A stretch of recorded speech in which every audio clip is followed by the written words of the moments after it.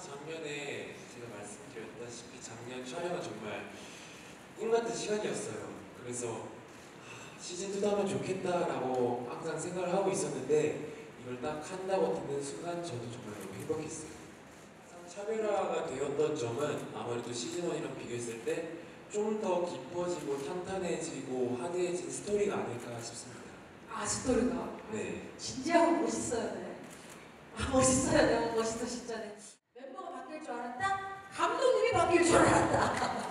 혹시 솔직히 뭐 뭐 뭐 있잖아요 좀 혹시 그 진심 어, 진심되게 물론 또 앞으로 제가 살아가면서 또 좋은 인연들 좋은 사람들을 많이 만나겠지만 이 사람들이기에 또 악동 탐정스가 가능하고 또 이 사람들이 아니면 악동 탐정스일 이유가 없기 때문에 저는 이 멤버 그대로 갈 줄 알았습니다. 아 그럼 진짜 더 어렵게 네. 자 1번 의웅이가 좋다.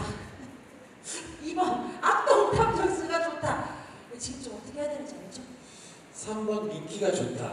아 팬분들 아니 저 친동생 별명입니다. 아 친동생 아 친동생이 좋다. 아, 네. 친동 그러면은 자 1번 미키가 가장 좋고 2번으로 의웅이가 좋다. 악동 탐정스가 좋다.